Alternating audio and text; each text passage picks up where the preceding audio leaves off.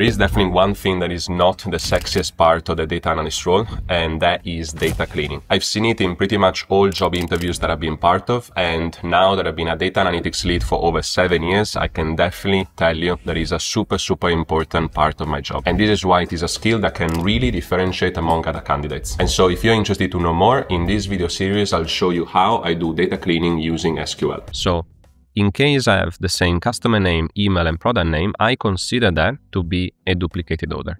And basically, I want to identify those and only keep the first item of those that are duplicated and remove the other ones. So that's kind of the logic that I want to use for, in this case, to clean the data. And so the way to do this is I'm going to do a comma here, and then in the other line, I need to basically uh, use this window uh, function called row number, this one here. Whenever I use a window function, we need to add the over. So that's uh, something that we need to add uh, in here. And then in parentheses, follow me here because I need to basically group our data set based on the columns that I just mentioned. So I'm going to do a partition by, and then in here, I we said that we care about the email. That is not the same. So in this case, I just want to standardize the emails. So I use lower email.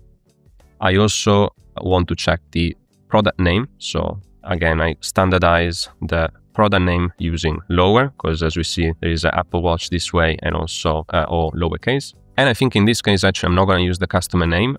I think for now, I'm fine by using only email and product name to check duplicates. So that's what, I'm, that's what I'm going to do with this partition. And I also want to order this uh, partition by the order ID. So that's exactly what I'm doing with this uh, function here and I'm going to call this uh, new row that I created with the, uh, the window function, I'm going to call it rn, which stands for uh, row number. So let me remove actually this one here.